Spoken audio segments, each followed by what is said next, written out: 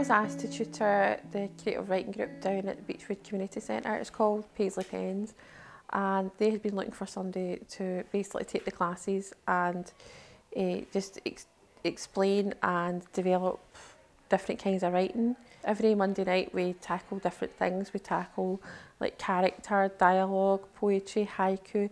If there's uh, a time of the year coming up, like say Halloween or uh, Valentine's Day, we'll maybe do something around it, but I'll try and go from a different angle with it. I'd always enjoyed the idea of it. Loved reading, loved wordplay, loved word puzzles, loved song lyrics, but never really saw a career path. I hadn't been to college, hadn't been to uni, so it's, it's quite a time consuming pursuit. When you've got work to do, a job to do, or a family to bring up, it kind of goes in the back burner. But I'd written a couple of poems and uh, going to gigs. There was a couple of fundraisers, a couple of charity nights. I just brass necked it and asked friends and bands, is it cool if I do a wee intro? Um, stuff that was on theme, that was on topic, and they were cool, and they've been doing very, very well. I was about, uh, I think it was just like leaving the age of 19, 20 years old. Um, moved back up to Paisley to do a college course in radio. I got involved in script writing for radio, and my first experience knowing that I was going to write was probably when I won a writing competition. Um, writing a story about how I couldn't write, so that that was that was quite funny. But it was quite nice. The judges that were involved were pretty well known writers. Um, managed to win a computer out of it, so that was pretty good. Um, after that, I kind of just looked back on on basically what I'd done so far in my life what slam events entail. Yeah, um, to use a kind of music analogy, they're like a battle of the bands, basically.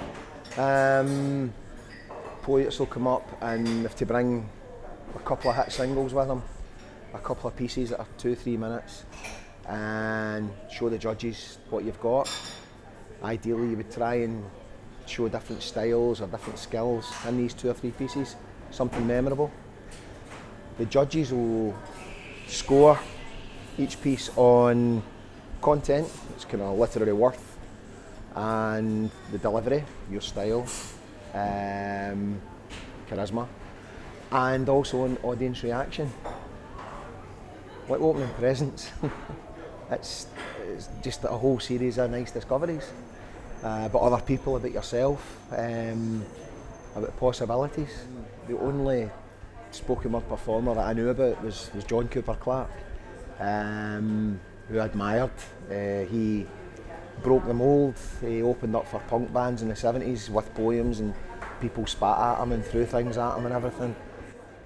Then when I heard other guys in the local scene, guys in Glasgow, guys in Edinburgh, I realised that John Cooper Clarke wasn't necessarily technically better than a lot of these guys but he broke the mould.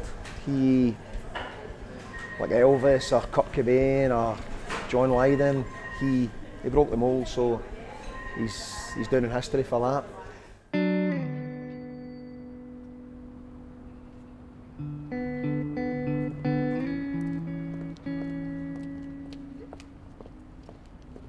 There is a wee bit of a story, and a lot of people laugh at this. Um, everybody that knows me knows I'm a huge Doctor Who fan.